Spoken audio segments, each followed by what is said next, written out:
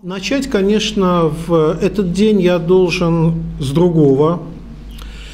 Э, наверное, вы все знаете, или, по крайней мере, большинство знает о том, что в нашей стране творятся последние дни совсем странные вещи. Я обычно не политизирую свои выступления и даже тексты, которые я пишу, стараюсь делать аналитическими, не призывая выступать на той или иной стороне. Но буквально пару дней назад у нас произошло совершенно странное, я бы сказал, безумное событие, э, которое всколыхнуло столько людей, сколько, по-моему, раньше еще никогда не колыхалось такого рода событиями, я имею в виду арест и тюремное заключение для э, артиста Павла Устинова. Э, человек получил три с половиной года, при том, что на камеры было, на самые различные камеры с разных сторон было четко заснято то, что он не совершал никаких противоправных действий, он стоял в Москве на улице, ну, в том месте, где он случайно, или, может, не совсем случайно оказался, где шли протесты, но, тем не менее, он ничего не совершал. К нему подошло несколько человек в форме и в шлемах, которых иначе как бандитами после этого трудно назвать, набросились на него, скрутили, избили – и за это парень получил еще и три с половиной года. Под тем предлогом, что один из напавших на него полицейских или росгвардейцев повредил себе ключицу. При том, что на кадрах было видно, что парень не сопротивлялся, а ключицу, если действительно этот охранник повредил, повредил ну, как-то вот сам, либо в каком-то друг, какой-то другой истории. Прошел суд, судья отказался вообще смотреть видеозаписи и вынес решение дать три с половиной года. Сегодня, ну вчера поздно вечером, сегодня прошло, появилось сразу четыре известных мне петиции, может больше, но вот то, что я видел. За Павла Устинова заступаются артисты, цеховая солидарность. А, правозащитники, учителя и даже священники. Впервые в истории РПЦ, ну вот современной русской православной церкви, даже священники высказались за то, что ну, творится что-то неправильное, и мы, как принято говорить у православных, должны печаловаться за невинно страдающих людей. Вот я хотел на это обратить внимание, на то, что в эти дни общественная солидарность против вот этого безумия дошла до очень высокой ступени. Причем, еще раз подчеркиваю, я сейчас не говорю о том, хорош путинский режим или плох, ну, мое мнение известно, но я не занимаюсь никакой агитацией. В данном случае слишком очевидно было, что суд просто превратился в некую расправу. Если у них есть какие-то другие аргументы, то желательно показать другое видео, на основе которого они пришли к выводу, что э, этот человек виновен, либо как-то объяснить обществу. Пресс-секретарь Песков сегодня высказывался на эту тему, тоже ничего не объяснил. То есть э, ситуация какая-то крайне странная. Вот, так что не могу просто не начать сегодняшнего разговора с упоминания этой истории. Будем надеяться, спасибо, будем надеяться, что все-таки какая-то адекватная реакция от суда у нас будет. Теперь переходим к тому, о чем мы сегодня должны говорить. А, у нас тут э, в ходе организационных всяких подготовительных дел, э, наверное, потому что сейчас сентябрь и э, квартирник только начинается, произошла некоторая неразбериха. И я должен объяснить, что сегодня с этой лекции «Считать ли меня либералом» мы начинаем лекционный цикл. Это не отдельная лекция, не отрывочная лекция. Это лекционный цикл о проблемах современного либерализма. Этот цикл совместно с Росбалтом объявляет Центр исследований модернизации Европейского университета в Санкт-Петербурге, где я имею честь быть научным руководителем. Читать лекции буду не только я. Я выступлю с первыми тремя лекциями. Ну, кто получает э, от меня электронную рассылку, видел план этих лекций. А, могу потом сказать подробнее, либо вы можете э, оставить свои электронные адреса, я буду вас включать в рассылку. Ну, в общем, первые три лекции читаю я. Они состоятся, они будут читаться по средам. Следующую среду будет перерыв, потому что я уезжаю в Эстонию представлять свою книгу «Особый путь России» от Достоевского до Кончаловского. Меня просто не будет в Петербурге. А дальше две среды я продолжаю выступать со своим курсом, и затем еще две среды будет выступать э, сотрудник нашего центра Павел Усанов со своим взглядом на либерализм. Так что в целом пять лекций. Приходите. Более того, я думаю, что наш Центр исследования модернизации продолжит этот лекционный курс дальше, ну, скорее всего, зимой или весной с некоторым перерывом. А, подключаться другие сотрудники центра, у нас семь человек всего работает, и э, не только мы с Павлом Усановым э, являемся либералами.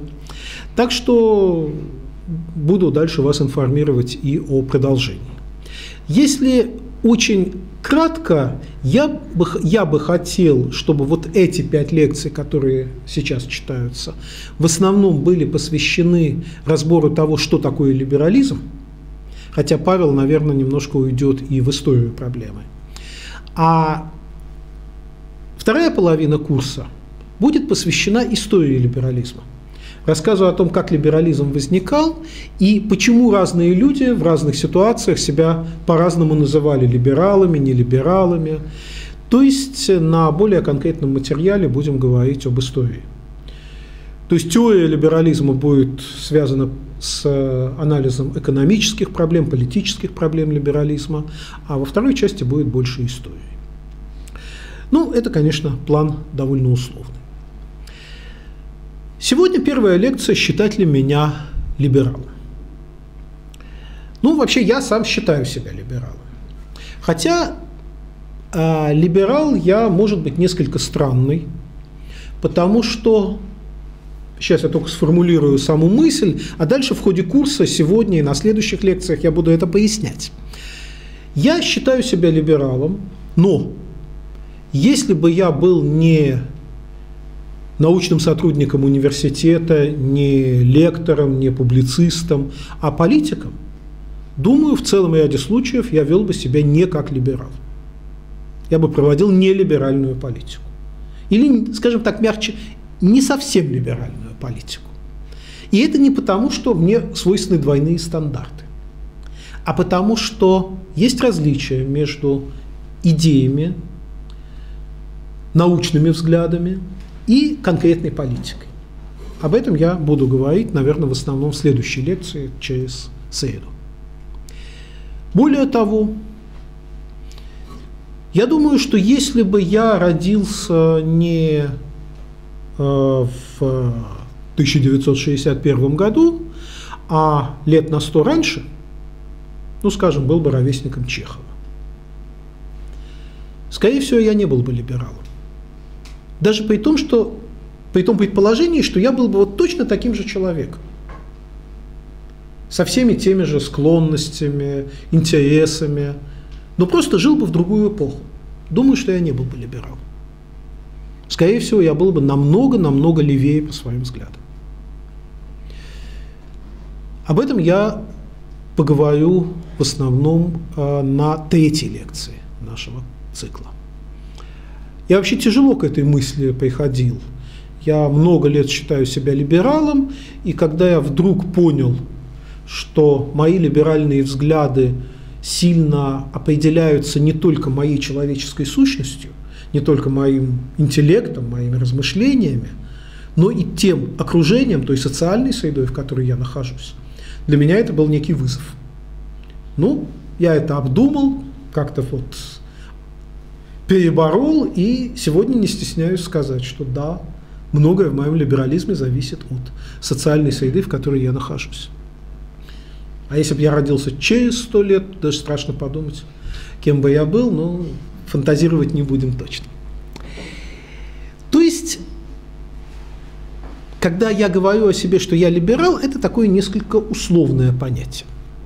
Но сегодня вот в эти вещи я не вдаюсь. Сегодня я хочу начать с того, кого вообще считают либералами в России.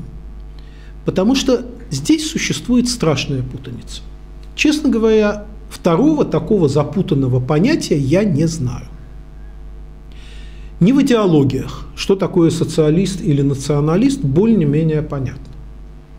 Хотя националист, конечно, скажет, что бывают хорошие националисты, а нас путают с нацистами, социалист тоже может что-нибудь такое сказать, но все равно масштабы путаницы не такие, как с либерализмом. И другие понятия из какой-то другой области тоже мне не приходили в голову, чтобы вот такая же была путаница. Я насчитал чуть ли не десяток различных представлений о либерализме, которые я встречаю в прессе, когда я читаю газеты или интернет, в общении с людьми, в общении со студентами, а, в дискуссиях с оппонентами, если оппоненты сами не либералы, а хотят как-то противопоставить свои взгляды либералам. Самые разные взгляды. Ну вот, начнем с их краткого анализа. Первая и самая распространенная трактовка либерала, с которой я встречаю. Это вот сегодня, ну, скажем так, в последние лет 10, 15, 20. Либерал – это тот, кто против Путина. А на улице вышли либералы и требуют, кричат «Путин вор» и требуют там свержения путинского режима. Среди этих либералов на самом деле есть немало националистов, которые хотят, чтобы Россия была государством для русских, а не империей, в которой Путин объединил самые разные народы и как-то пытается их выравнивать. Среди этих людей есть крайне левые люди. Допустим, э, крайне левый лидер Сергей Удальцов выступал против Путина э, не менее активно, чем многие либералы. Э, некоторые люди, называющие себя либералами и выходящие на протесты против существующего в России режима, если посмотреть, за что они выступают, тоже часто оказываются не либералами. Но слово «либерал» почему-то оказалось очень удобным для того, чтобы говорить о том, что вот те, кто против Путина, те либералы.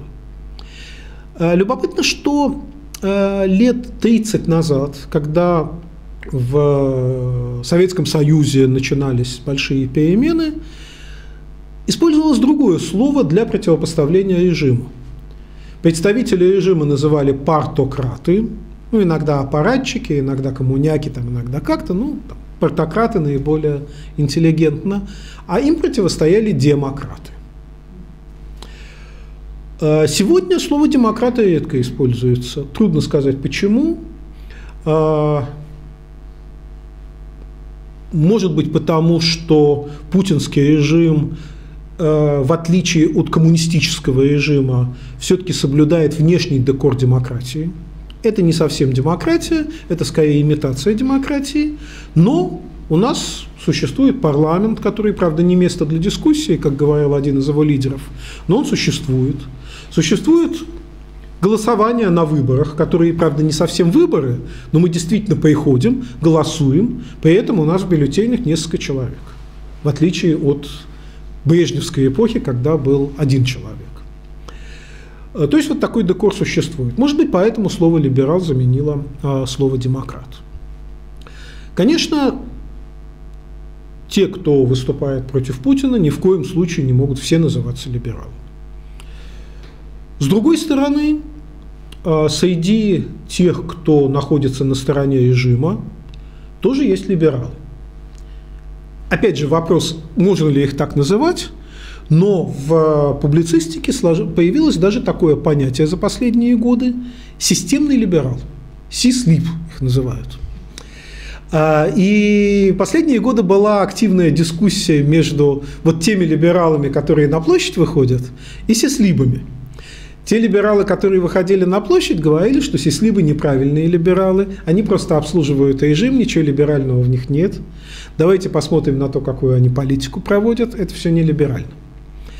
А ну, сами Сеслибы, конечно, они там министры, там, главы Центрального банка или что-нибудь такое, они редко огрызаются. Но публицисты, которые выступали в защиту системных либералов, говорили, что если кто-то хоть что-то либеральное за последние 20 лет у нас в стране сделал, то это были как раз Сеслибы. Потому что вы, ребят, только на улице выходите и кричите. Вы же все равно ничего реально не сделали. А Сеслибы, ну, хоть чуть-чуть, хоть немножко, где-то там чего-то сдвинут от э, авторитарного режима чуть-чуть в сторону либерализма. Или в экономике немножко больше свобод дадут. Ну, в общем, как бы то ни было, как бы ни разворачивались эти дискуссии, либералы могут оказаться и на той, и на другой стороне. Поэтому вот такого рода высказывания о либералах, конечно, бессмысленно, что они вот просто, просто те, кто против Путина. Второе понятие, которое часто приходится использовать. Либерал-фашисты. Э, это понятие, например, любит довольно известный публицист Максим Шевченко. Э, я ни разу не слышал, чтобы он внятно объяснил, почему он объединяет эти два термина. Вроде бы либерал, либерализм и фашизм настолько противоположные явления, что трудно их как-то объединить. Хотя, с другой стороны, э, демократы в конце 80-х годов использовали понятие коммунофашисты. Коммунизм и фашизм – это очень разные идеологии, трудно их объединить вместе. Но демократы использовали, возможно, э, люди типа Максима Шевченко по образцу э, демократов 30-летней давности решили объединить либералов с фашизмом. Ну, в общем, что за этим стоит, хотя Шевченко не объяснял, более-менее понятно. Все, кого мы не любим, это либералы. А для того, чтобы их как-то сильно заклеймить, надо не просто такое расплывчатое слово либерал употребить, а надо употребить такое слово, которое имеет отрицательное значение абсолютно для всех. По крайней мере, в нашей стране. Мое поколение выросло на том, что хуже фашистов ничего нет, потому что фашисты нас пытались завоевать в годы Великой Отечественной войны. Вот, значит, пусть либералы будут фашистами. На самом деле, конечно, свести эти два понятия абсолютно невозможно. Когда мы перейдем к разговору о том, что, собственно говоря, такое либерализм, вы увидите, что э, адекватный, честный оппонент, даже если он очень не любит либерализм, использовать такой термин никак не может. Шевченко, кстати, мы однажды сошлись на дискуссии, где он использовал этот термин, я ему возражал, и так ничем дело и не закончилось, никакого объяснения внятного с его стороны не было. А, долгое время слово либерал-фашизм было, пожалуй, наиболее жесткой характеристикой для либералов – но последние годы появилось еще одно более страшное слово. А, в приличном обществе вроде его даже как-то и нехорошо произносить, но с другой стороны обойти э, его совсем невозможно. Это слово «либерасты». Это вот так, чтобы уж вот совсем оскорбить впрямую. Когда тебе скажут, что ты либерал-фашист, ты еще подумаешь, что надо как-то объяснить. Нет, вот фашизм это другое, вы путаете.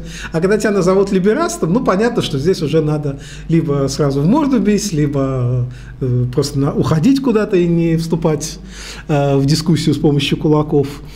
А, но тем не менее, я, поразмышляв над этим словом, подумал, что наверное, некий смысл люди, которые его используют, а, в это слово вносят. Даже, может быть, больший смысл, чем либерал-фашист. А, либералов, их противники часто упрекают в моральной распущенности, в том, что либерал – это человек, который, э, для которого все дозволено – который не имеет никаких э, моральных норм.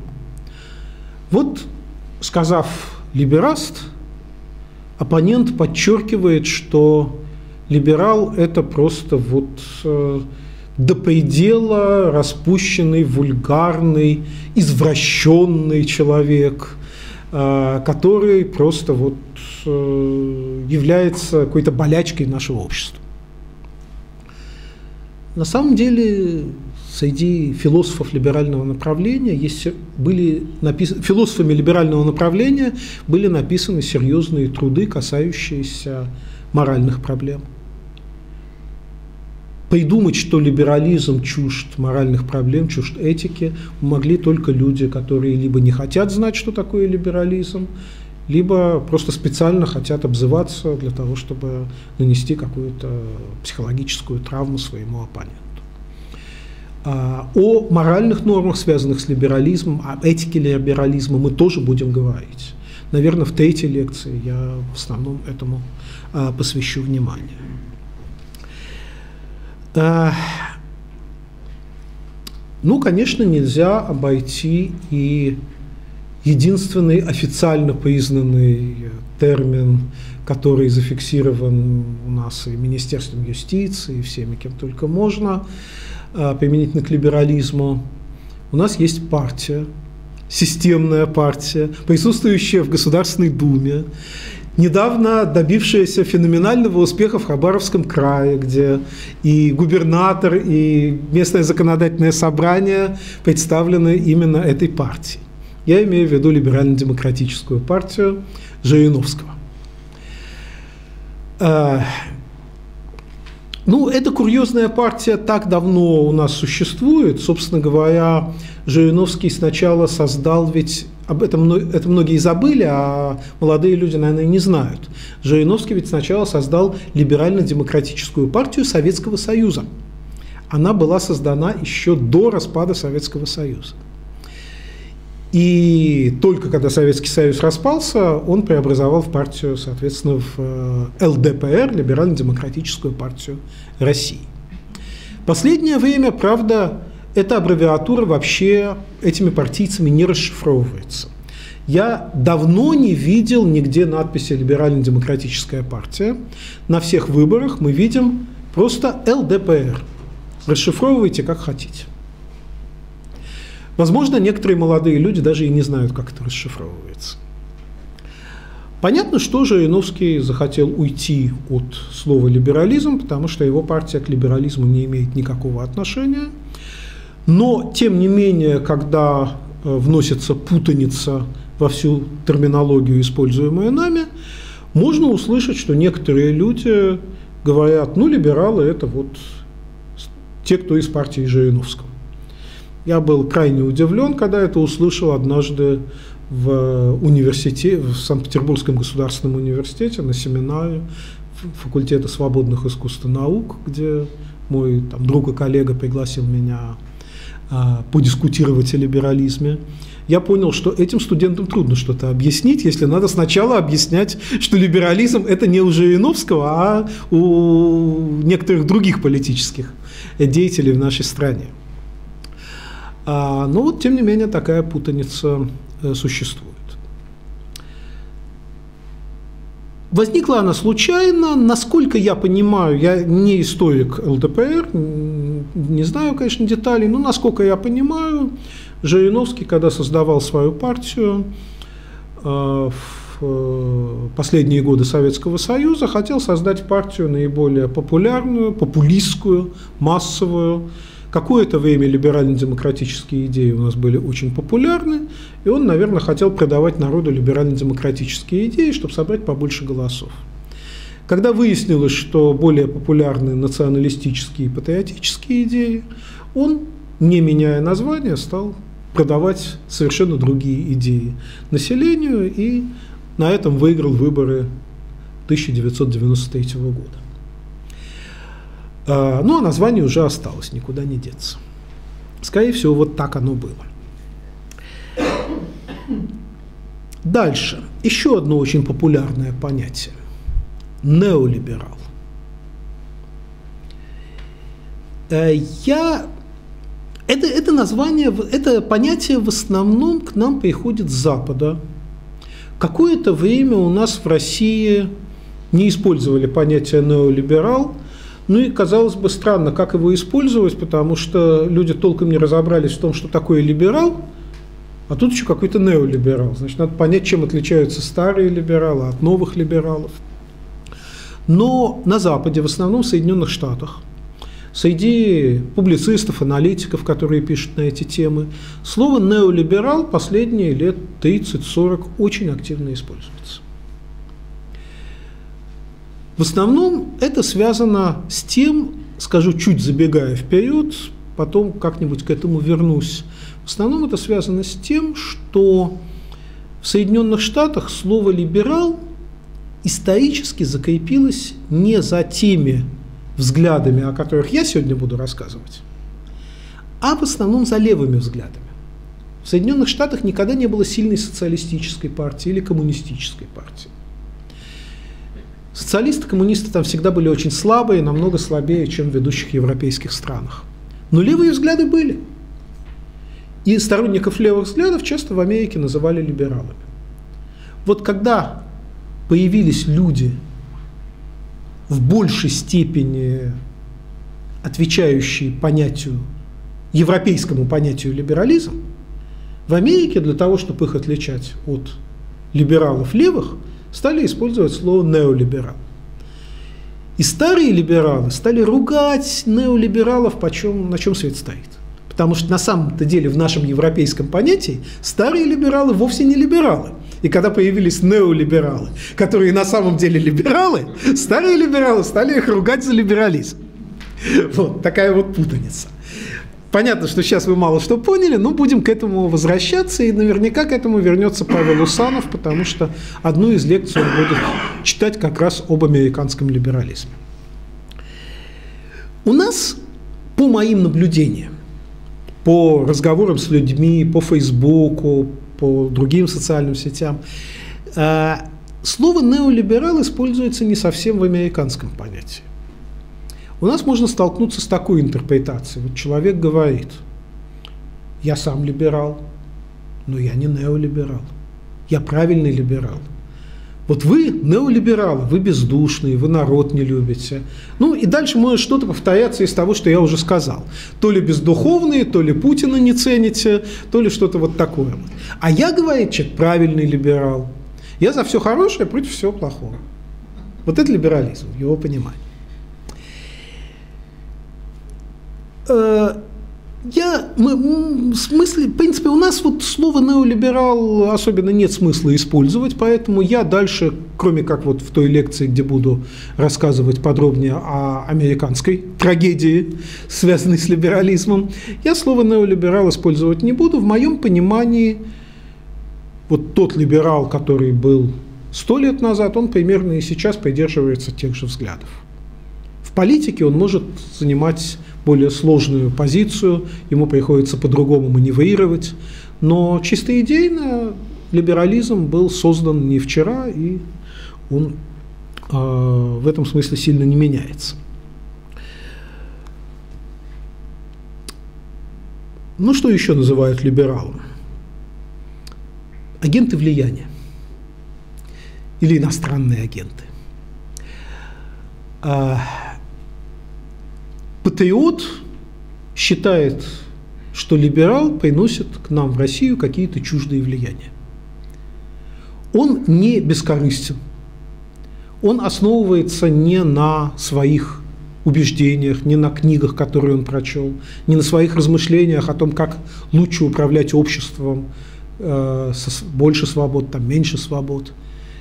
Патриот часто думает, что либерал, он обслуживает интересы Соединенных Штатов. Хотя в Соединенных Штатах есть представители разных взглядов, и многие из них совсем не либералы, а некоторые либералы, но не в том смысле, как мы только что сказали. Ну вот э, иногда думают, что э, в основе либеральных взглядов лежит некая нечестность. Я помню, как-то давно читал лекцию в Европейском университете, открытую лекцию. Ко мне подошла некая молодая дев- женщина, и спросила, а вы понимаете, что вот то, что вы рассказываете, работает на интересы Соединенных Штатов там, и так далее? Я говорю, да нет, чего вы взяли, я же вот могу просто объяснить, почему для России лучше, чтобы было вот так, а не как вот при путинском режиме. Нет, говорит она, вы не понимаете, вами так тонко манипулируют из-за границы, что вы сами не отдаете себе отчет, что работаете, пляшете под их дудку. Вот. Ну, как-то вот я настолько удивился, что э, запомнил лицо этой молодой женщины, потом выяснилось, что она работает доцентом в высшей школе экономики. А, ну, потом там как-то познакомился немножко с ее биографией, выяснилось, что прошла ряд зарубежных стажировок в тех странах, где откуда нами манипулируют и так далее. Так что вот здесь такие странные вещи бывают. Еще одна трактовка либерализма. Ну, наверное, провинциальная. Либералы – это зажравшиеся москвичи, которые выходят на протесты, потому что они мало работают, у них много денег, а, а мы вот в провинции трудимся, вкалываем, нам не до либерализма. Ну, здесь уж я, наверное, меньше буду комментировать такие курьезные вещи, но тем не менее это постоянно встречается. Вот, вот московские либералы там вышли и так далее. А, ну, просто либерал – это просто любитель каких-то нестандартных действий, любитель выпендаться. Вот либералы любят геев. Вот просто, вот, вот все их не любят, а вот им надо обязательно вот сделать не так, как русский народ. Вот поэтому они вот их будут любить. А если весь русский народ будет любить геев, то эти, значит, будут любить только гетеросексуалов. Ну и, наконец, Сегодня даже вот я в распечатанный план лекции дописал от руки последнюю фразу. Буквально сегодня я познакомился с новым э, термином, характеризующим либерализм. Его ввел, может, раньше кто-то его использовал, но я вот впервые прочел. Его сегодня в «Новой газете» ввел известный обозреватель и редактор «Новой газеты» Кирилл Мартынов. Гламурный либерализм, гламурные либералы. Это он написал статью о свадьбе Ксении Собчак. Почему Ксению Собчак надо называть либералом, я не очень понимаю. А, э, Ксения Собчак вообще актриса. Ну, там в, дипломе у нее не написано, она, кажется, там, политолог-международник или кто-то там, она МГИМО заканчивала, а, но по характеру деятельности, по своей сути, она, конечно, актриса. И она играет разные роли.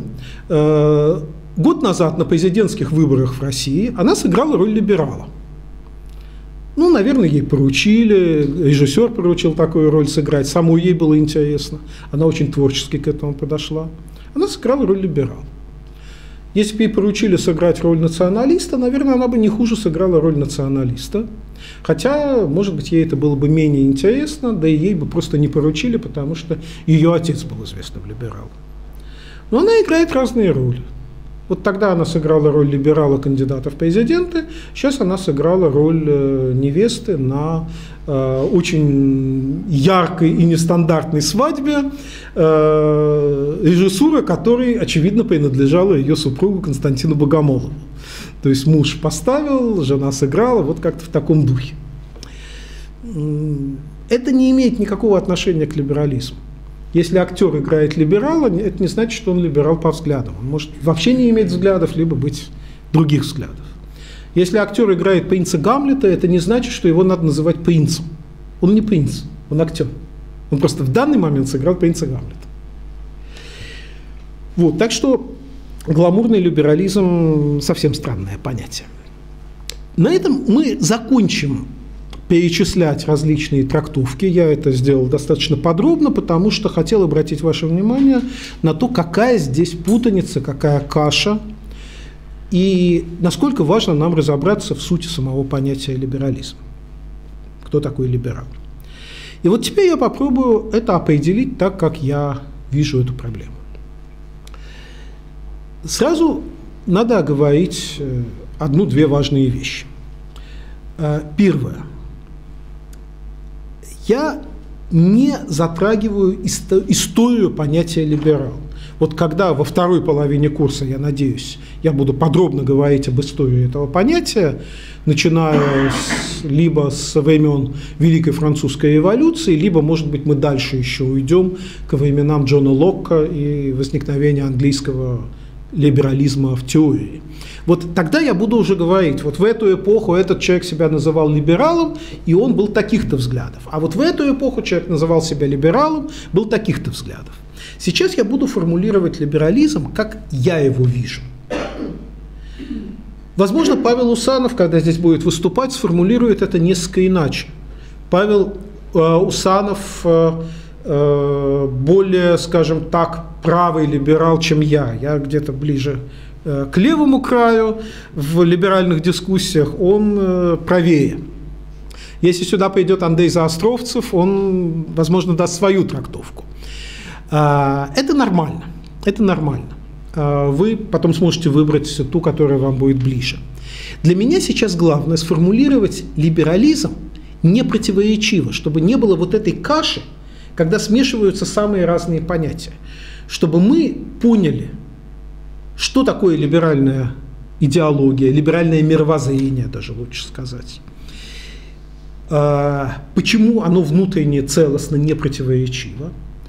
Ну, а если вы увидите, что у Павла или у Андрея это все выглядит лучше, более целостно, то вы просто э, потом скорее возьмете их концепции, чем мою. Итак, если определить либерализм одним словом, то это сделать очень просто. Можно это произнести и закончить лекцию. Либерализм – это учение о свободе. Из самого слова это вытекает. Обычно нормальные люди с этим не спорят. Вот если оставить в стороне а, а, авторов и любителей вот всех этих формулировок, которые я перечислял в течение там, получаса, то Нормальные люди понимают, да, конечно, либерализм это, – это учение о свободе. Но вот дальше начинаются сложные дискуссии. Кто-то больше ценит одни свободы, кто-то другие свободы. А, с некоторыми своими друзьями я беседую, а, скажем, с э, экономистами. Экономисты в первую очередь упоминают экономические свободы и так вот где-то поверхностно политические. Когда я беседую с историками или политологами, для них скорее экономические свободы где-то на заднем плане, а главное э, свобода в политике. Я считаю, что все эти свободы равноценны. Нормальный либерализм предполагает, что человек обладает всеми возможными свободами. Насколько это реалистично, это следующий вопрос. Мы дальше к нему подойдем. Но либерализм не э, выдвигает какие-то свободы на первый план, а какие-то, скажем, отводит назад. Итак, что же это за свободы? Я постарался их классифицировать, и у меня получился список еще более длинный, чем вот этих неправильных э, взглядов на либерализм. Первое. Ну, я экономист, вы мне позволите все-таки начать с экономических свобод. Я выделил четыре важнейших свободы, которые должны существовать в экономике. Первое. Человек должен иметь право на собственность. Собственность нельзя отбирать. Любая собственность священна. Это важнейший принцип либерализма. Если я олигарх, миллиардер, и вы все меня не любите, вы считаете меня мерзавцем и готовы закидать тухлыми яйцами – то если вы либералы, вы все равно признаете мое право на собственность, которая у меня есть. Если, конечно, она получена по закону.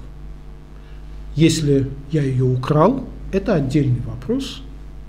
В этом случае, конечно, по суду, не, так как, не по тому суду, как вот с Павлом Устиновым, по настоящему суду, можно человека наказывать, э, конфисковывать собственность, но если речь идет о том, что человек очень нам неприятный человек, слишком богатый, ведущий вызывающий образ жизни, имеет огромную собственность, либерал считает, он имеет на это право. Почему это важно, об этом также будем дальше говорить, пока я подчеркиваю просто сами принципы либерализма. Вот социалист скажет, нет, это безобразие, так нельзя, и дальше либерал начнет с социалистом спорить, но вот спорить будем чуть дальше, пока мы просто констатируем, что такое либерализм. Вторая свобода – право на доход с той собственности, с того имущества, которое у человека есть. Это означает, что либерал считает, что в идеале вообще не должно быть налогов. В идеале. Э, вы сейчас, конечно, возмутитесь, ну, понятно, без налогов невозможно, я сам понимаю, что без налогов невозможно. В том числе поэтому я в самом начале лекции вам сказал, был бы я политиком, я бы, конечно, не проводил тот либеральный курс, который я считаю правильным теоретически. Но когда мы говорим о абстрактной теоретической модели, либерал считает, чем меньше государство вмешивается в жизнь человека, чем меньше оно отнимает у него доходов, тем лучше. То есть в идеале лучше без налогов.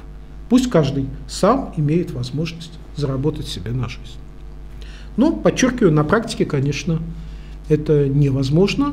Если первый пункт права на собственность все-таки в большей степени мы стремимся соблюдать, а, если отнимают законно приобретенную собственность, либералы активно возмущаются. Если государство вводит налоги, либералы говорят, что, ну, в общем, это, конечно, нехорошо, но мы понимаем, что вот реалии таковы, что с этим можно согласиться, во всяком случае, надо обсуждать. Третье право. Свобода торговли. Либерал считает, что надо разрешать максимально свободную коммерческую деятельность том числе международную. Вы должны иметь возможность, если вы произвели какой-то продукт с помощью своей собственности, продавать его где угодно, как угодно, кому угодно. Государство максимально не должно это ограничивать.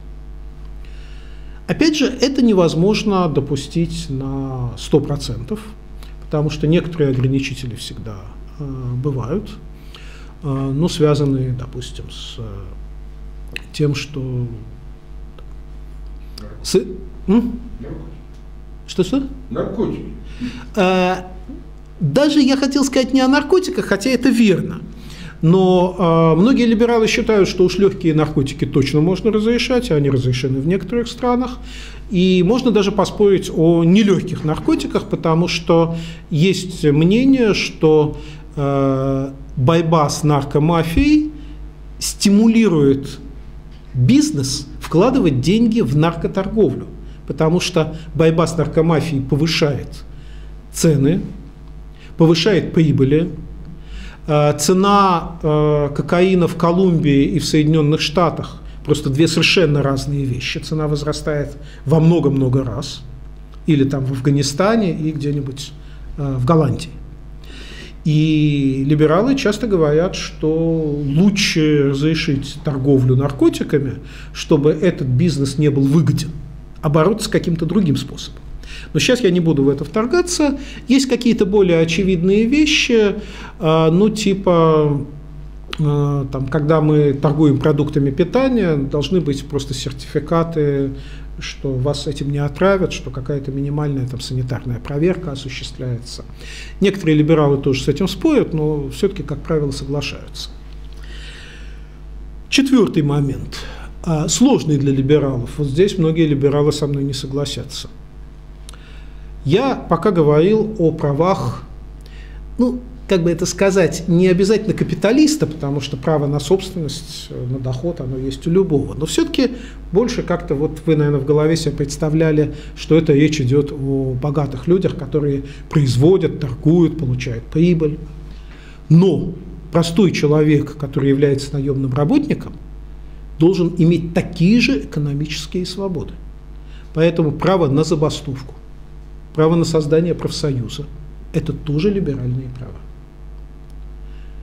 Э, многие либералы со мной не согласятся, скажут, что профсоюзы увеличивают цену продукции, из-за этого э, потребитель вынужден больше платить, поскольку профсоюзы э, делают зарплату рабочих более высокой, чем она могла бы быть при отсутствии профсоюза.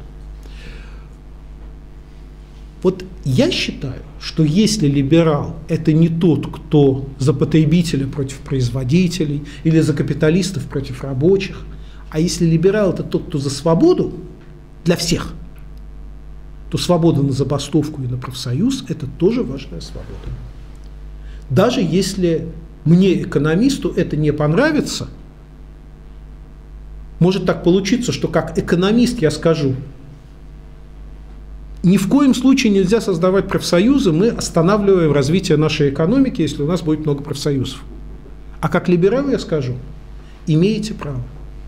Если вы не внимете моим убеждениям как экономиста, если я не смогу вам доказать, что профсоюзы мешают развитию экономики, вы все имеете право создавать профсоюзы. И как либерал я признаю ваше право на забастовку и на создание профсоюза. Человек имеет право, свободный человек имеет право защищать не только свою собственность, свой доход, но и свой труд и доход от труда. Это что касается экономики. Теперь политика. Ну, здесь вроде просто. Либерализм предполагает демократию. Я, если я выступаю за свободы, это означает, что я предполагаю, что каждый человек имеет право участвовать в выборах и свободно, без ограничений, выбирать тех депутатов, президентов, губернаторов, которых он хочет. Казалось бы, здесь даже и объяснять ничего не надо. Но одну оговорку мне приходится сделать. Опять-таки, некоторые мои коллеги здесь со мной вступают в дискуссию, Возможно, если у вас здесь будет выступать когда-нибудь Андрей Заостровцев, вот насколько я понимаю, здесь в основном мы с ним спорим. Существует теория одного немецкого экономиста, который уверяет, что либерализм прям противоположен демократии. Демократия вредна. Более-менее понятно, почему он это говорит. Демократия – это популизм. Когда все люди имеют право голосовать и избирать правительство – Правительство стремится к популистским действиям, стремится потакать желанием этой массы населения. Поэтому оно будет э, взимать высокие налоги с богатых и передавать деньги бедным. Создавать большой чиновничий аппарат, чтобы он занимался перераспределением этих денег. Э, ну и так далее. Да, для развития экономики это плохо. Но если мы говорим о либерализме как о свободе, то люди имеют право выбирать тех, кого захотят. И ограничение демократии – это ограничение либерализма, ограничение свобод. Опять же, так же, как и в предыдущем случае, я должен сказать, что я, как политик, если бы я был политиком, я никогда не был политиком и не буду, но если бы я был политиком, я бы говорил, ни в коем случае не занимайтесь популизмом. Если вы демократично избрали правительство, правительство должно быть ответственным и стараться, чтобы налоги были поменьше, чтобы профсоюзы действовали не агрессивно и так далее, так далее. Но как либерал я признаю, что люди имеют право избрать власть свободно, так как считают нужным. Дальше, гражданские свободы. Их довольно много. Но я думаю, что все, все наше понимание гражданских свобод можно свести к одной очень важной вещи.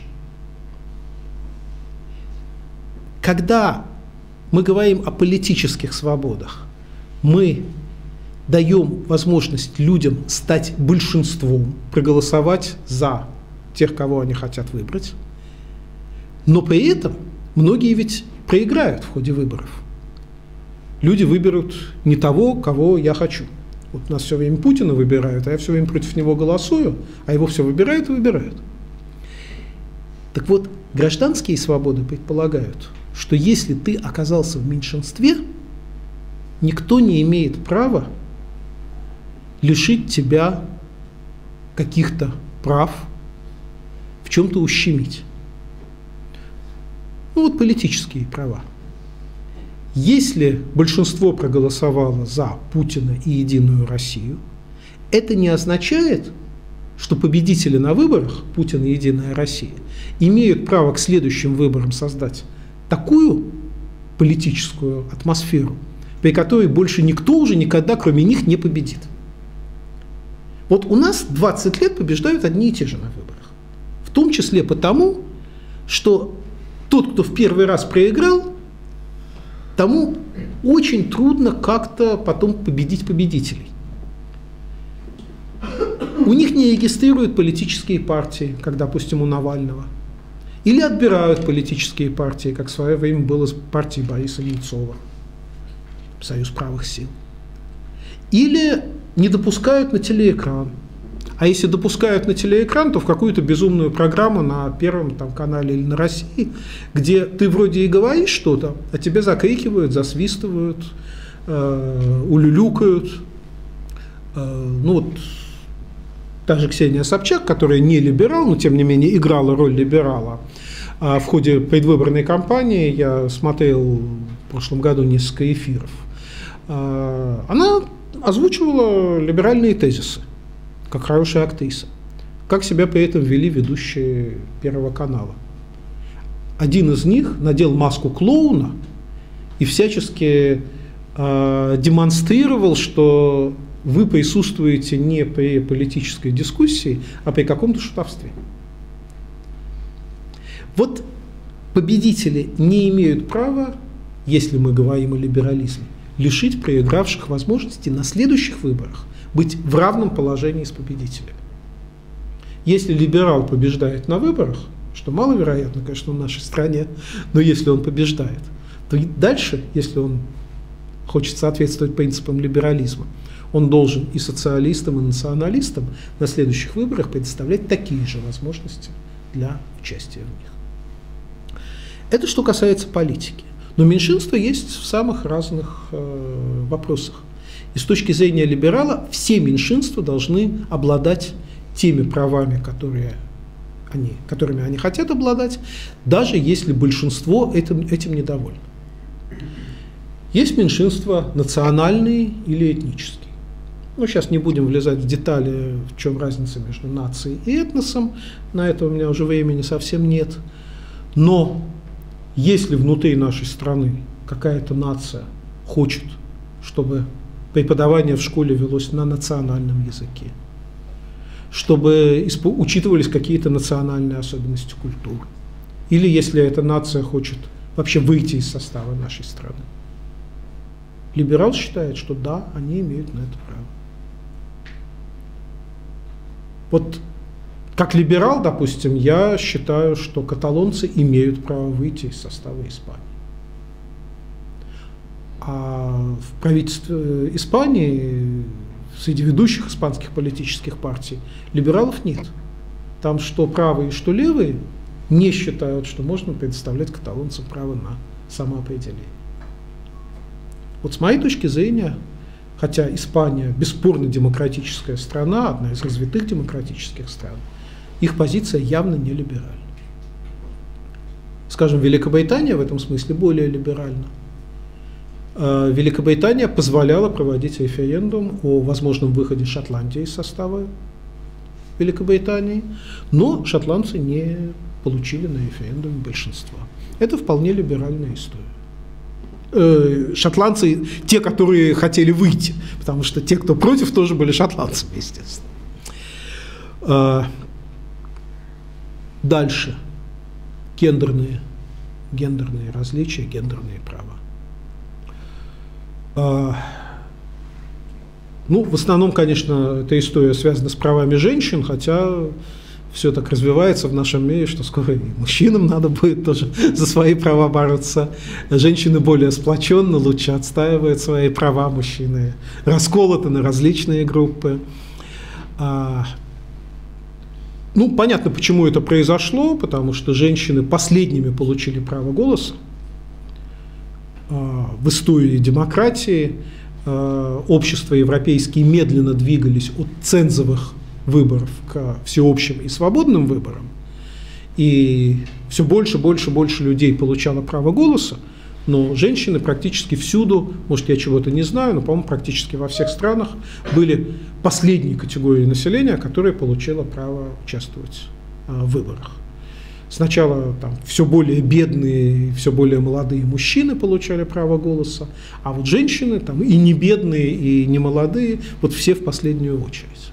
Понятно, что женщины активно отстаивали свои права, движение суфражисток, которое было в э, начале 20 века, это было движение, ну, угнетенное меньшинство, как мне не нравится это слово, все-таки, наверное, не угнетенное, здесь какое-то другое слово надо найти, но, наверное, не, неравноправное, там, дискриминируемое меньшинство боролось за свои права. Религиозные меньшинства – то же самое – а,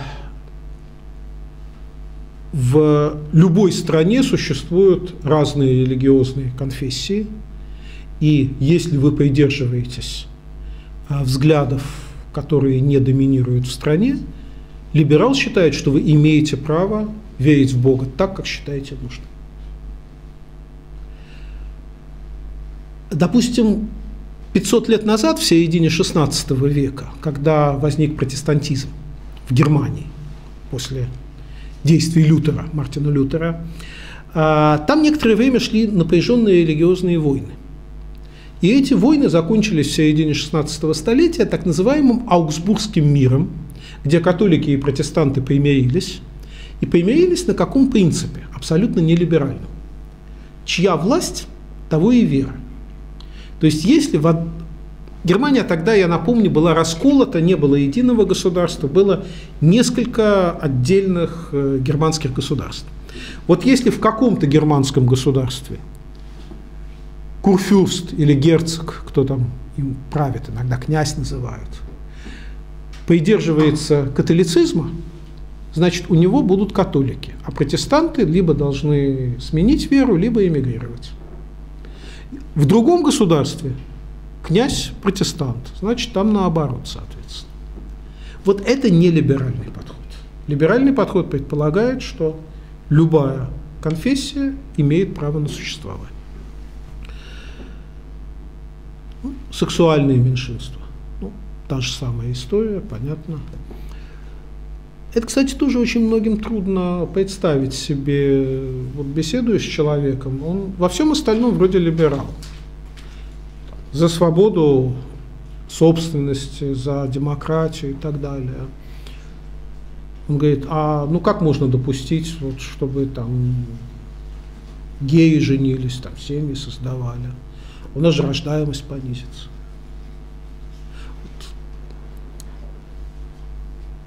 Я сейчас не буду вдаваться в эти вопросы, это здесь доктор Щеглов Лев Моисеевич часто выступает, он об этом, наверное, лучше расскажет, это его тема.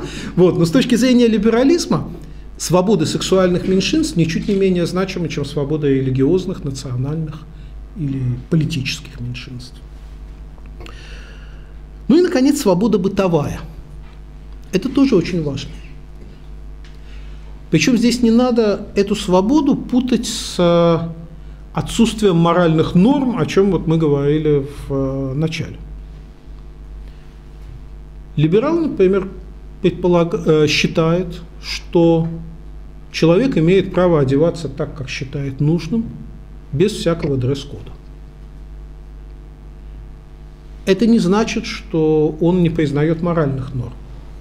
Но свобода может проявляться – в, в одежде, во внешнем виде, человек сам себя самовыражает. А, скажем, в моей жизни э, была такая интересная форма борьбы за свободу, э, причем в полной началось это, когда мне было 23 э, года, но только много-много лет спустя я осознал, что это я так как-то внутри себя боролся за свободу. А, когда я учился в Ленинградском университете, э, раз в неделю я ходил на военную кафедру, где из нас готовили офицеры запаса. И наши полковники-подполковники страшно боролись с усами и бородами. Это не допускалось ни при каких обстоятельствах. Нам объясняли, что ты будешь, значит, э, не студент нас называли, курсант. Курсант будет неопрятный, вот он пообедает, у него в бороде там капуста какая-нибудь повиснет. Ну как вот э, можно там в нашей советской армии, чтобы капуста была в бороде.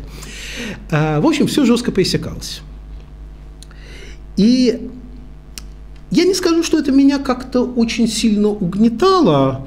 Э, я, честно говоря, больше думал о каких-то там философских, смысловых проблемах, когда я был молодой, о научных проблемах, а не о том, там, как я внешне буду выглядеть. Но, тем не менее, когда я закончил э, университет, отслужил на военных сборах и получил звание лейтенанта запаса, я практически сразу начал отращивать бороду. В тот момент мне представлялось просто, что вот я этого хочу, мне так нравится.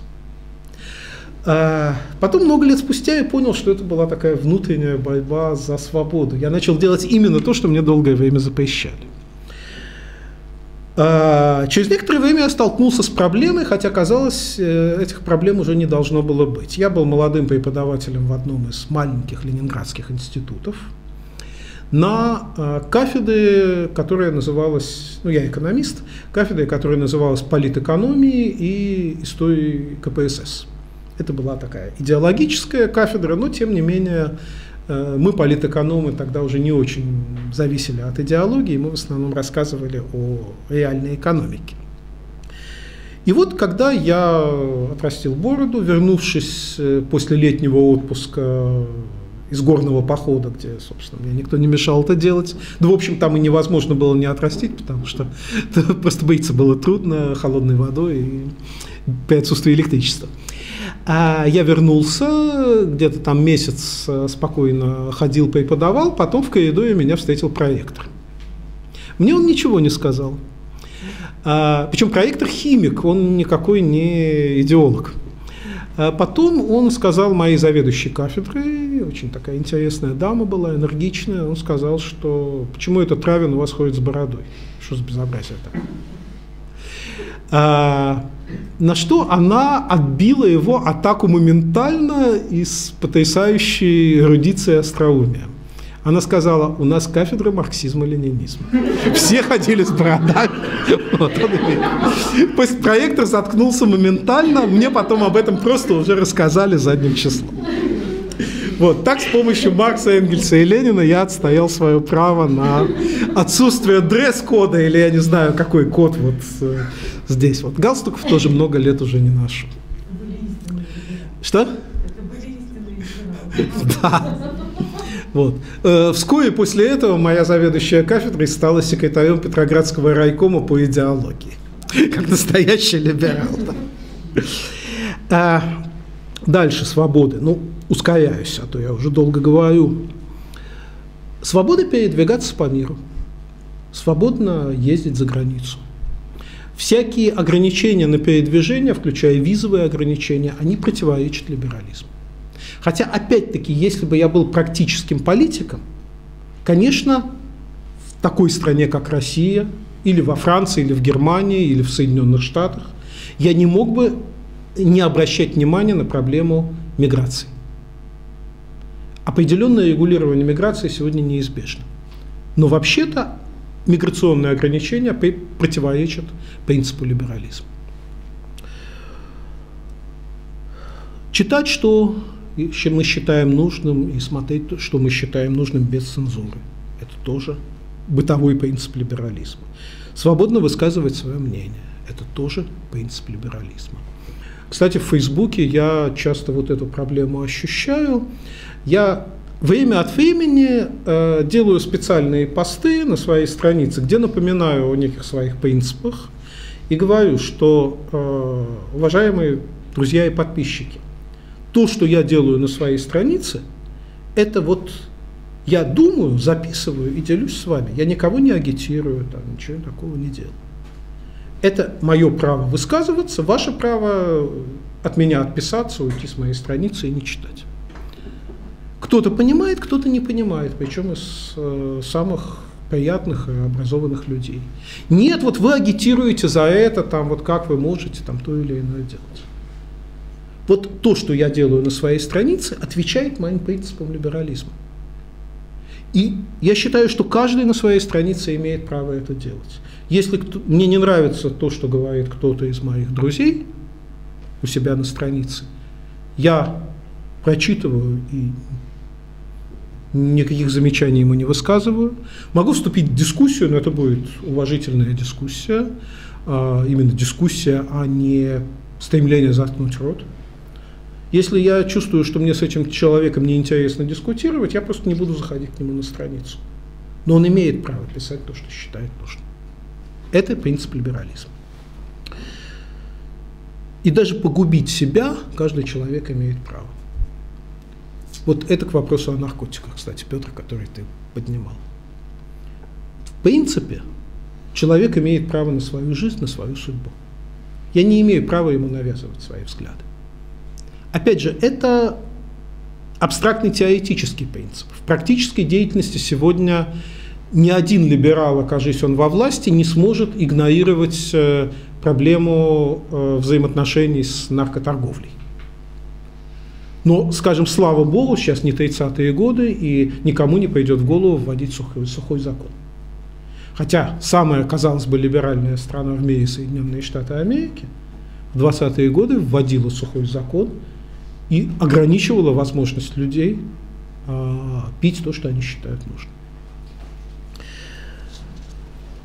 Ну и, наконец, последний, это вот мы говорили о том, что такое либерализм. О том, что в позитивном плане входит в понятие либерал. Но есть и определенные ограничители. Существует такая популярная фраза моя свобода заканчивается за миллиметр от вашего носа.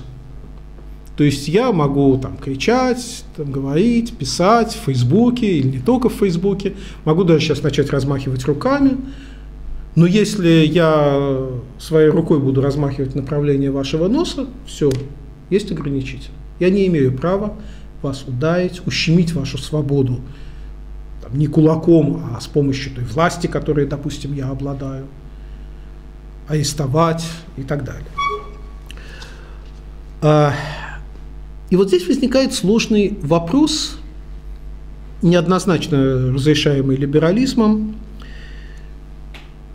а как сделать так, чтобы с одной стороны у нас были свободы, а с другой стороны, чтобы все-таки за миллиметр до вашего носа мой кулак был ограничен.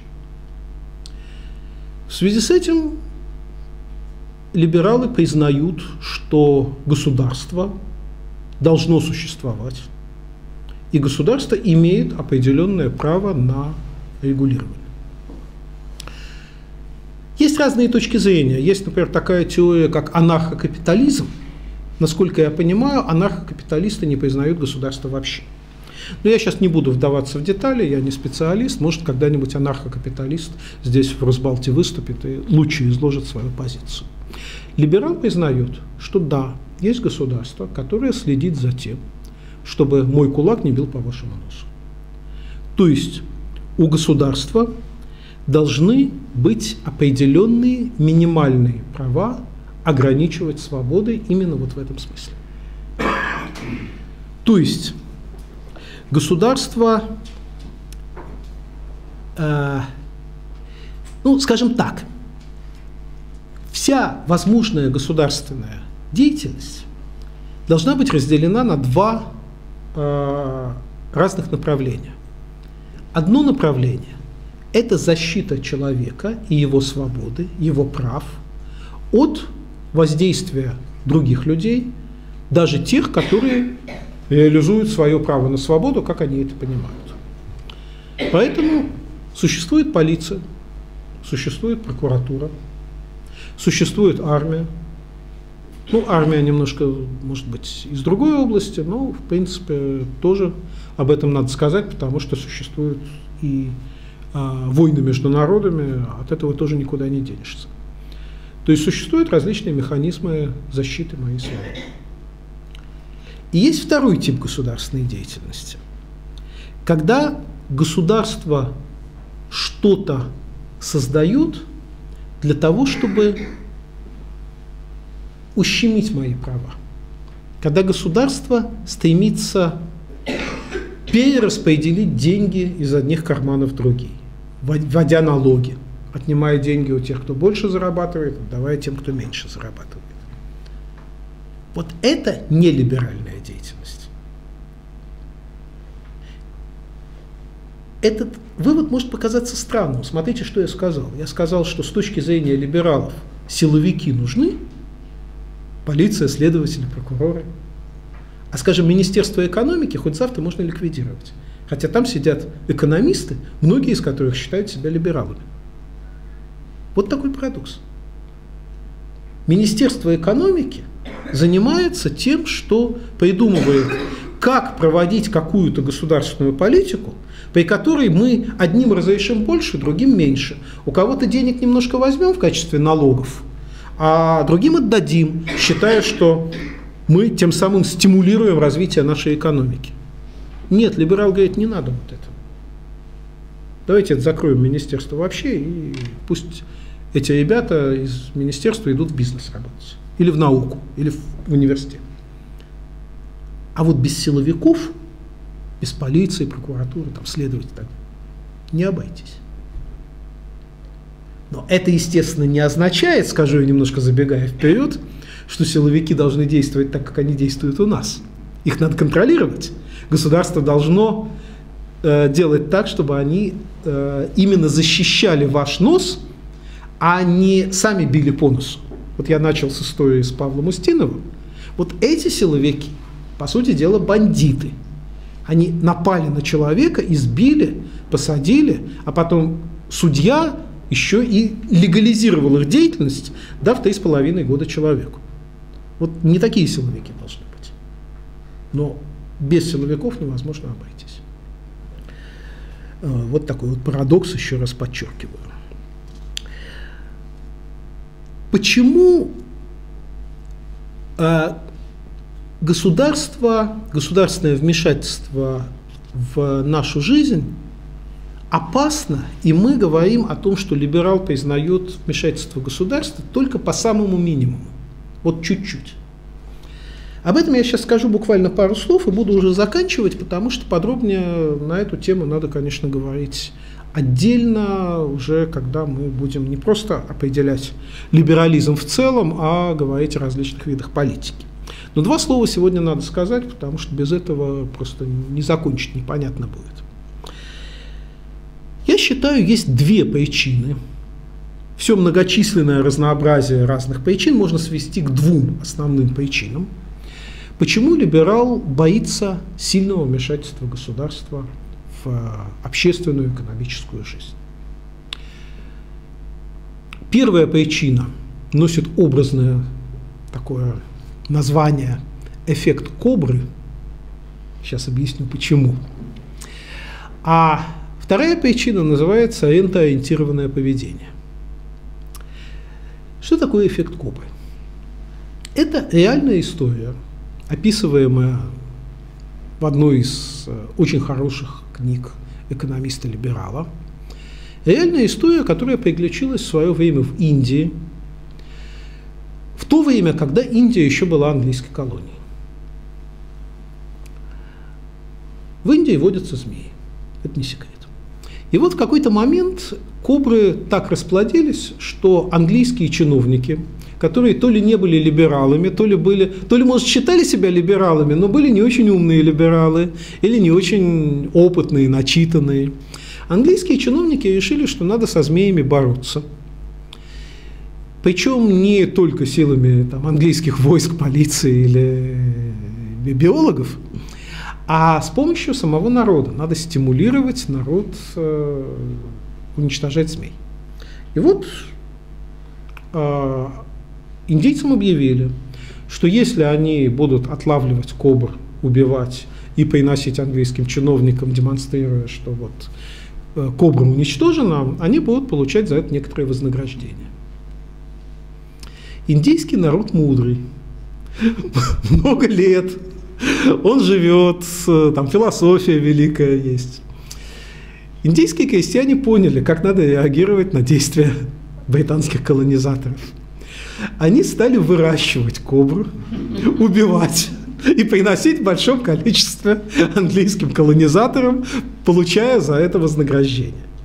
То есть результат стимулирующей деятельности оказался прямо противоположным. Змей стало больше. Ну, я уж не знаю, там, сбегали они из плена, эти змеи, или все, всех убивали для получения вознаграждения. А? Да, ну, да, конечно, конечно, да. Ну, в общем, как бы то ни было, змей стало больше, а английский бюджет потерял некоторое количество денег на абсолютно бессмысленное премирование разведения змей.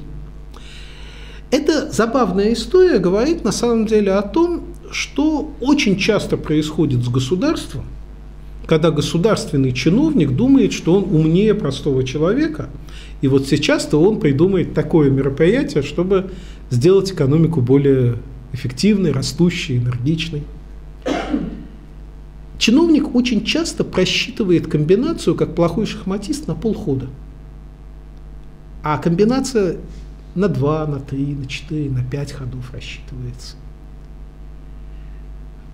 Когда чиновник придумывает различные меры стимулирования, скажем, импортозамещения, вот очень актуальная у нас тема, он до конца не понимает, как общество будет реагировать и какие последствия могут произойти.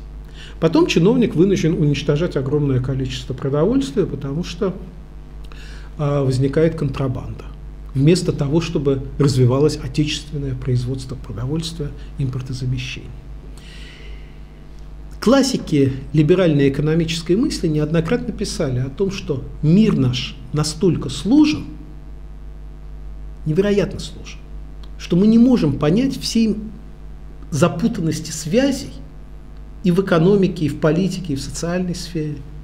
Поэтому, если вы, как государственный деятель, вмешиваетесь в этот мир, что-то меняете, дергаете за какую-то веревочку, какое будет последствие, вы не узнаете.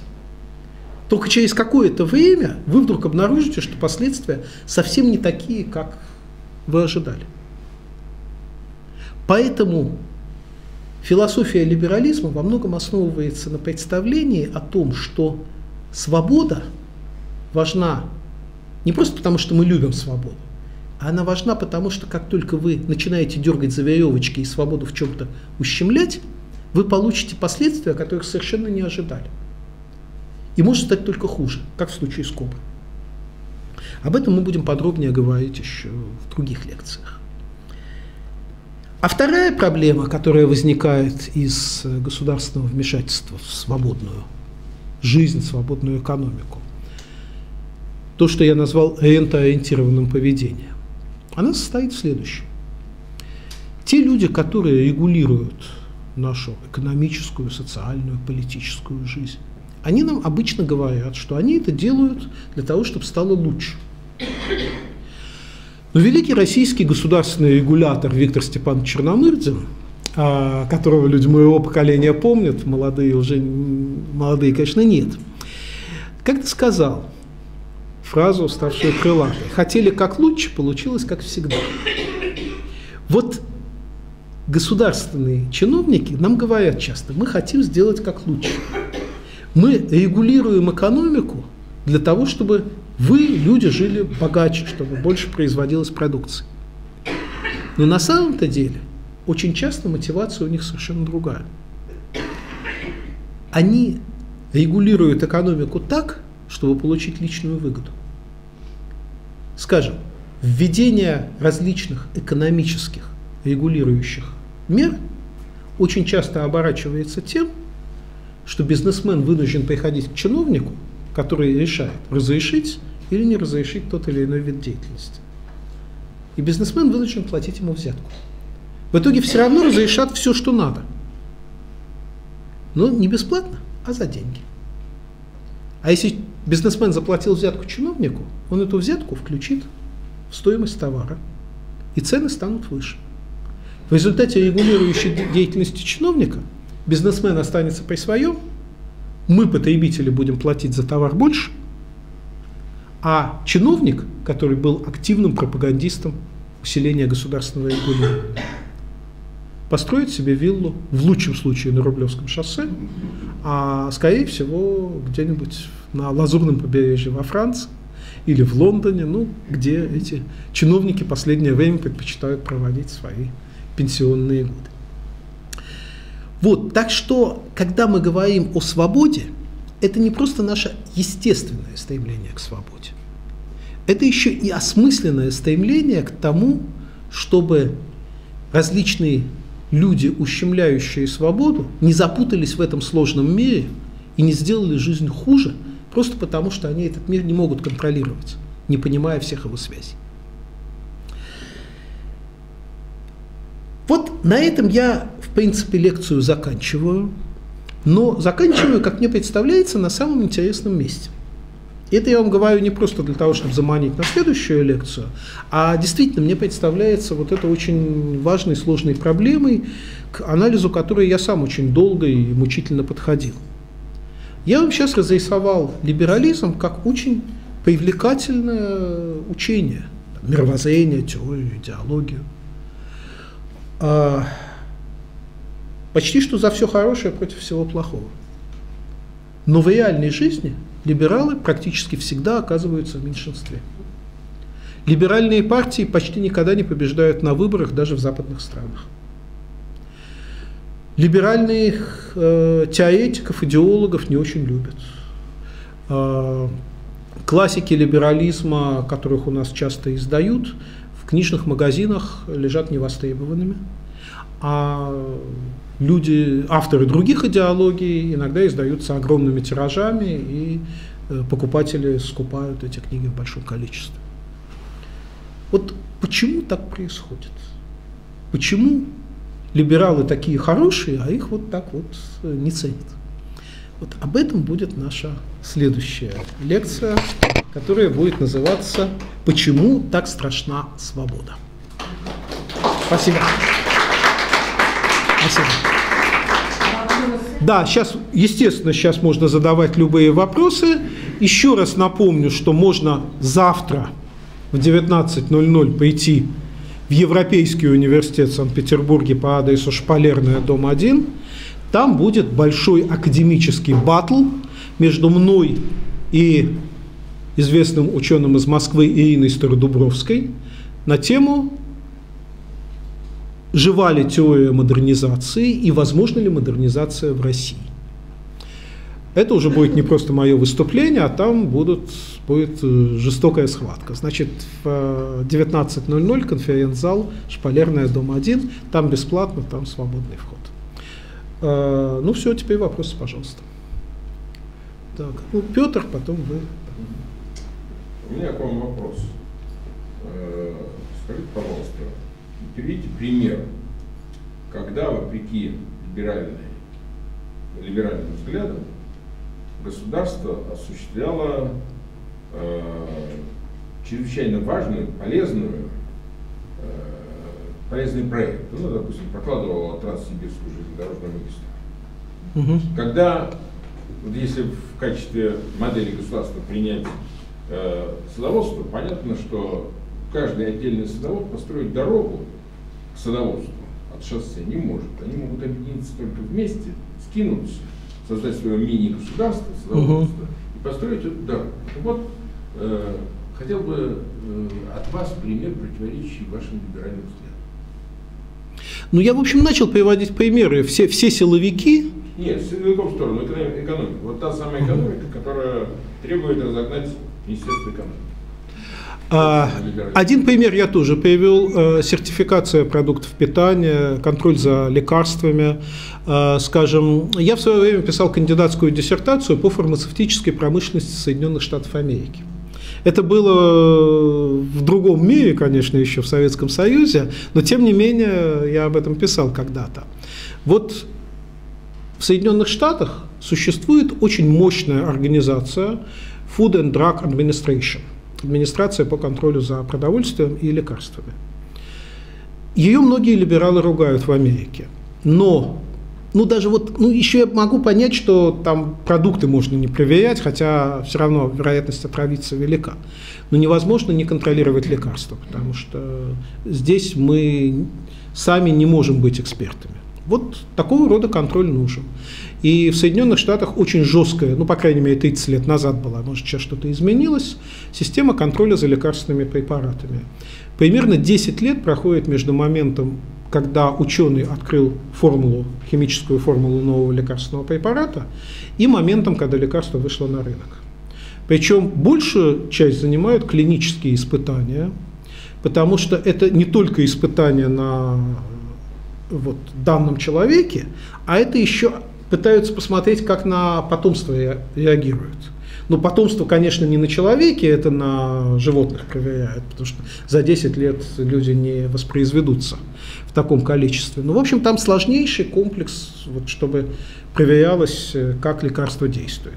Поэтому с тех пор я знаю, что когда я покупаю лекарственный препарат американской компании, очень велика вероятность, что это будет нормально все. Хотя иногда скандалы с отравлением бывают и в Штатах, иногда невозможно все это предусмотреть. Ну вот это, пожалуй, самый такой яркий пример. Пожалуйста, вы, да. А, вот если взять тот либерализм, который вы сейчас, э, понятие которого вы сейчас раскрыли за настоящий либерализм, то есть ли сейчас а, из видных деятелей в России представитель вот такого либерализма? Угу. Вот смотрите, вопрос, что значит видный деятель? А, представители такого либерализма существуют в науке, в идеологии. А, если речь идет о каких-то крупных политиках, то как только вы стали политиком, вы сразу начинаете идти на компромиссы. Я буду в следующий раз очень много именно об этом говорить. Поэтому а, я, например, считаю либералом покойного Егора Гайдара. Но любой, кто не любит Гайдара, сможет запросто мне возразить, сказав, ну вот смотрите, Гайдар был у власти, и при нем делалось то-то, то-то, то-то, это не либеральные меры. Да, я должен буду согласиться. Когда Гайдар был первым э, вице-премьером, а потом исполняющим обязанности главы правительства, при нем делалось много нелиберального. Такого рода компромиссы нужны, необходимы, но это уже отдельный вопрос. Вот, когда и как, об этом я буду говорить подробно.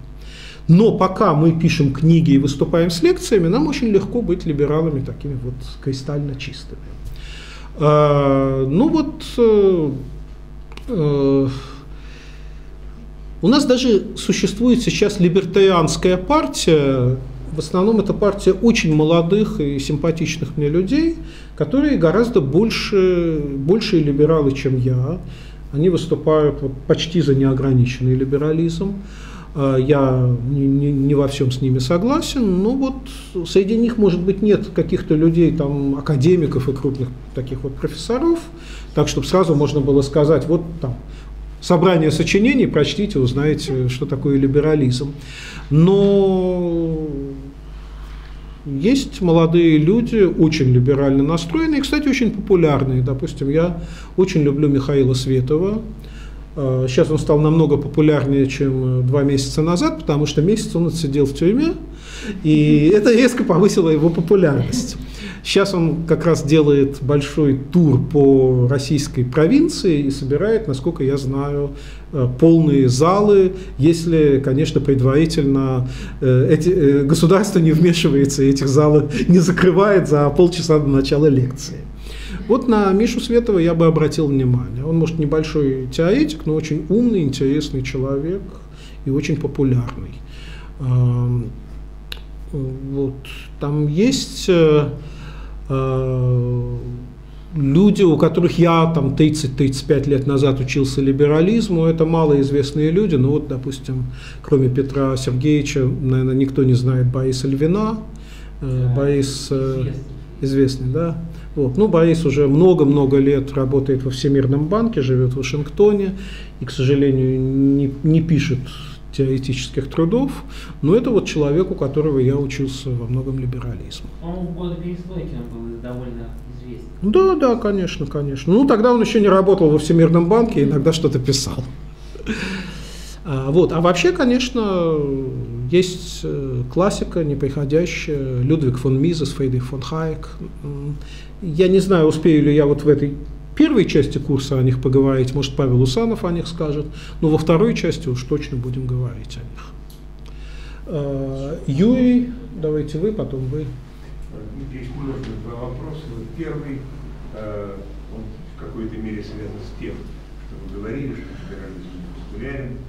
Вот э, я как бы предвосхищу вопрос моим, возможно, некоторым не согласен, в 80-е годы как раз был очень популярен и Хайек, и политики, Тэтчер, Рейган, которые проводили. А сегодня многие считают, что, э, и начиная не только от Путина, а других, что либерализм себя исчерпал.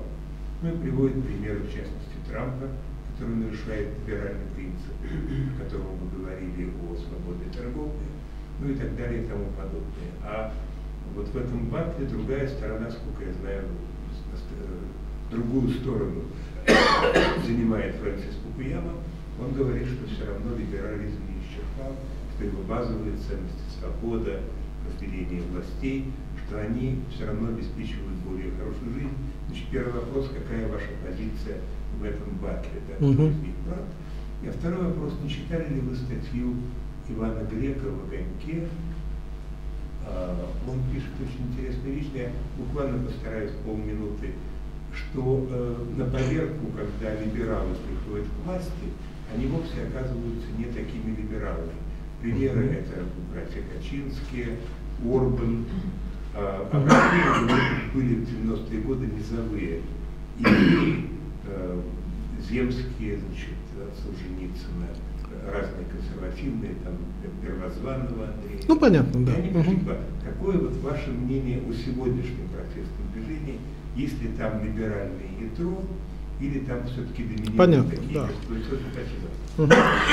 Значит, по второму вопросу очень трудно сказать, потому что я уже сегодня пытался дать понять, что когда теоретик приходит в политику, он сразу вынужден прибегать к различным компромиссам, без этого не обойтись. Поэтому в некоторых случаях либерал идет на компромиссы, и, может, от либерализма мало остается, а в некоторых случаях он, может быть, и не был либералом, а только прикидывался, я очень сомневаюсь, что э, братья Качинские вообще когда-то были либералами. А, я не настолько знаю, конечно, историю Польши, но, скажем, наиболее известный польский либерал Лешек Бальцерович, экономист, ученый, э, который некоторое время возглавлял Унию Вольности, наиболее либеральную польскую партию, вот Качинских у него в партии не было. Качинские в это время создавали совершенно другие политические силы. С Орбаном сложнее, но сейчас не будем вдаваться в детали. Вот. А что касается первого вопроса, я понимаю, здесь вот какая ситуация. Либерализм был совершенно непопулярен в экономике, в частности, на волне увлечения кейнсианством где-то до 73-75 годов, 1973-1975. Потом в экономике возник тяжелейший кризис. Западной экономике, сейчас я не о России говорю, у нас здесь был Советский Союз, все совсем другое. И люди, которые скептически относились к либерализму, или даже скорее не те, кто скептически относился, таких не переучишь, а более молодые люди, которые в этот момент были студентами, аспирантами, входили только вот в сознательную жизнь, они Э, разочаровались в государственной регулирующей деятельности, вспомнили о том, что были Мизес, Хайек и так далее, так далее. Хайеку тогда вообще дали Нобелевскую премию. Мизес ее, может быть, не получил, потому что, если я правильно помню, к этому моменту просто скончался, а покойникам Нобелевская премию не дают. Так вот, просто принято.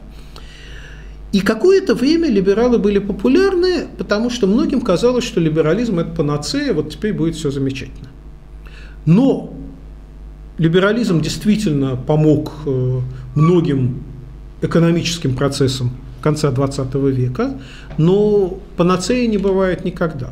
Возникли новые проблемы. Новые поколения стали разочаровываться в либерализме. Сегодня те, кто в начале 70-х годов стали либералами, ну, по возрасту этим людям уже лет 70 примерно. Поэтому уже новые поколения приходят в новых условиях, и они критикуют либералов. Это нормальный для идеологии, для науки процесс. Поэтому вполне возможно, что либерализм сейчас будет все менее и менее популярен не только у нас в России, но и в Америке, где всякие Трампы приходят. Э, да и во всех европейских странах сегодня очень сильные антилиберальные силы появились. А потом опять сменится поколение лет через 50 и снова, возможно, либерализм будет популярен. Это нормальный процесс. Спасибо. Пожалуйста. Меня зовут Иван, я студент европейского. Спасибо большое за лекцию. Я хочу три вопроса задать. Сразу лучше задать три. Давайте по очереди. Иногда, когда долго задают вопрос, я забываю первый. Да. Давайте по очереди, да. Да. Первый вопрос будет, э, что вы считаете источником права в либерализме? То есть это естественные права или что-то еще? Какой источник? Ну, видите я не юрист, для меня несколько сложный вопрос. Вот я в таких категориях все-таки не люблю размышлять. Наверное, можно говорить о естественных правах, но, э, знаете, мне, мне даже, я не, не юрист не только потому, что я не заканчивал юрфака, у меня сознание не юридическое, вот я немножко по-другому размышляю. Э, для меня вопрос об источнике права немножко схоластический. Вот я попытался объяснить, э, почему либерализм важен с более практической точки зрения. Потому что мир настолько сложен, как писал прежде всего Фридрих фон Хайек, и Мизес давал об этом это понятие, это мир настолько сложен, что мы запутываемся в управлении миром, когда мы не либералы и пытаемся ущемить свободу. Вот для меня это важнее размышления о естественном праве. Э, Хорошо, тогда экономический вопрос. Вот я сейчас от вас впервые слышал то, что как либералы разделяют идею о том, что налогов не должно быть вообще. Э, Вот по вашему мнению, а, я так понял, что вы тоже разделяете в целом эту идею, то, что налогов налоги должны быть минимальные или, или их не должно быть вообще. А почему их не должно быть? Потому что э, это эффективно с точки зрения экономики или потому что, допустим, вы разделяете этический принцип, что налоги это грабеж и ини- инициация насилия, агрессии. А, В принципе, и то, и другое. А, Я разделяю точку зрения святого Августина о том, что государство это вообще бандитская шайка, и налоги, которые они накладывают, в общем, не особо отличаются от э, того, когда просто какой-нибудь грабитель у вас отнимает деньги. А, Ну, это, конечно, такое образное выражение, а в практической деятельности я считаю, что а, когда вводятся налоги, и вы отнимаете у производителя часть того, что он создал, вы дестимулируете производителя. Он уже меньше заинтересован организовывать производство, вкладывать деньги в бизнес. С другой стороны, вы создаете какое-то количество людей, которые получают деньги не потому, что они трудятся, а потому что социальная система считает нужным им помогать. А, Иногда люди трудятся, ну, скажем, вот профессор в государственном университете. Но сколько он должен получить, определяет бюрократ. Скажем, если у него высокий хирш, ему дадут больше. Если там хирш поменьше, дадут меньше. Или вообще уволят.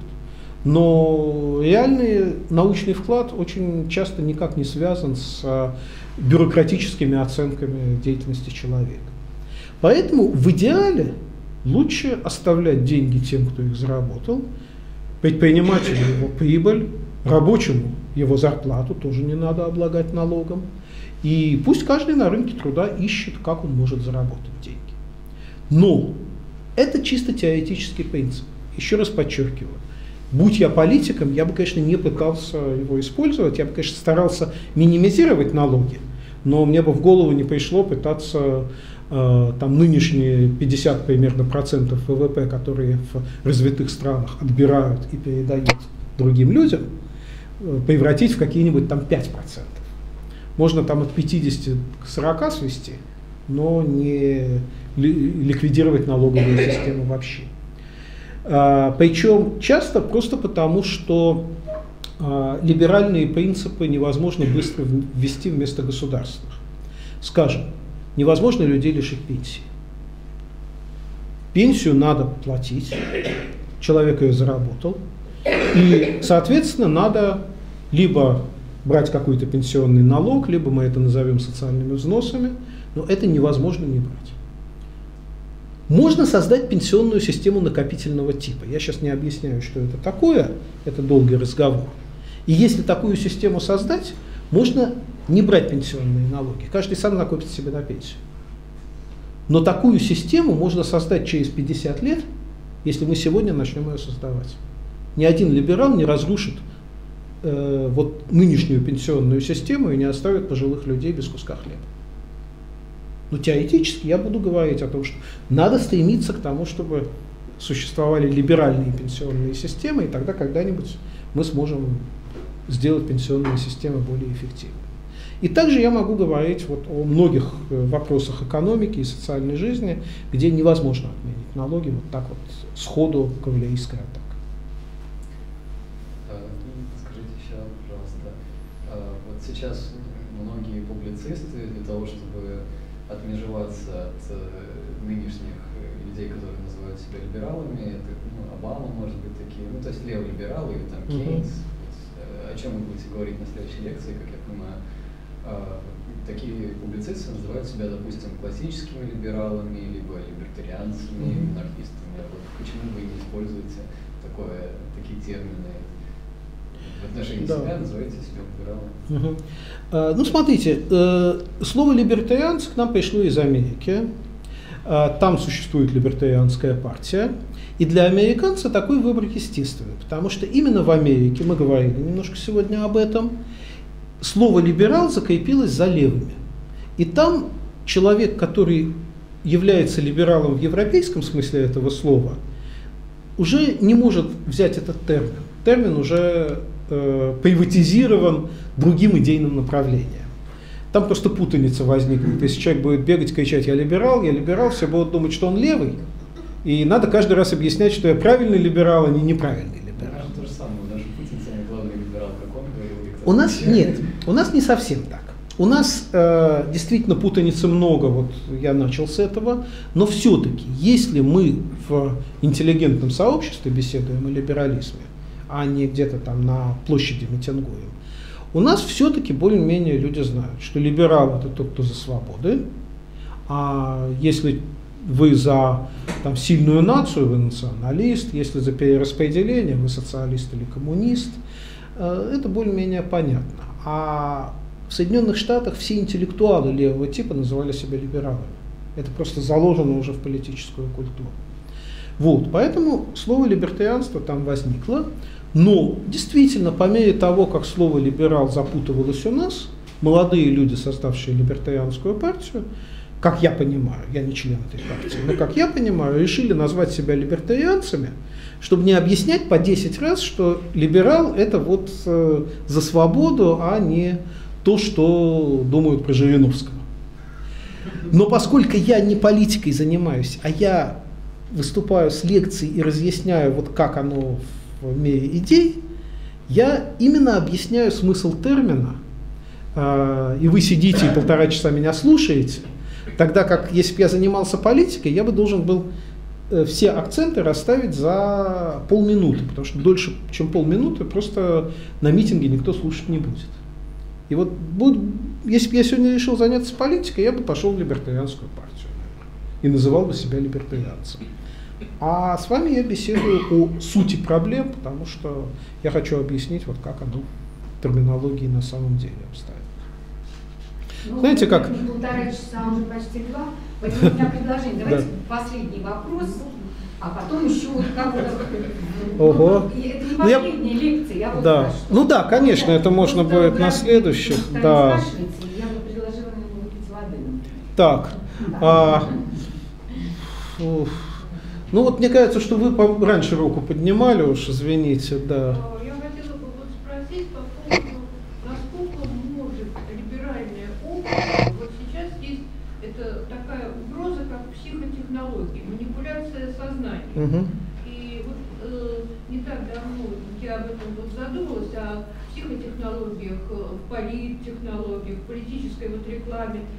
И причем ну, довольно такая ситуация была, я спорила с более молодыми там, вот, такими вот, которые считали, что довольно радикально настроены, что преступнику можно взломать сознание при помощи психоактивных веществ и вложить ему туда законопослушные идеи. Я стала объяснять, и мне в ответ ответили, а вот э, те же либеральные политики могут пользоваться там теми же политтехнологиями, которые очень манипуляцию сознанием допускают. И человек Вот, а, это, это просто тема моей следующей лекции.